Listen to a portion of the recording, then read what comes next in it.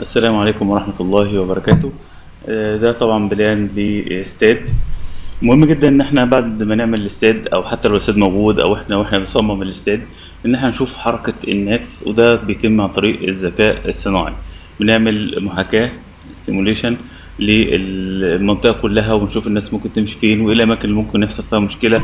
ولو اضطرينا إن إحنا نعمل إخلاء أو الناس كلها تخرج من المكان في وقت محدد إزاي ندرس الموضوع دوت ال- الفلو اللي هيبقى ماشي إزاي. آه، بحيث إن ما يحصلش أثناء مثلا مشكلة عايزين نفضي المكان كله يتجمع عند الباب فهل في مشكلة مثلا محتاجين إن إحنا نكبر الابواب محتاجين نوجد باب جديد؟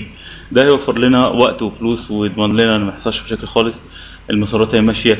نبدأ ندرس. وهو البرنامج بيقول لنا مثلا المكان ده فيه آه، مشكلة معينة محتاج إن إحنا نعدل فيه محتاج إن إحنا آه، نفتح opening يعني هو بيدينا المشاكل ويبدأ يدينا الحلول. بحيث الناس تبقى ماشية في الاستاد مركزة في الكورة مش متضايقة من المسارات.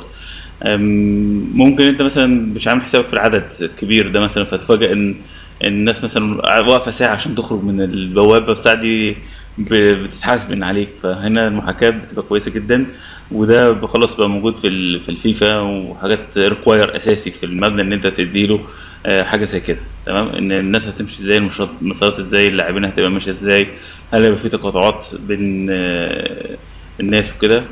بشكل مثلا ممكن يعمل مشاكل.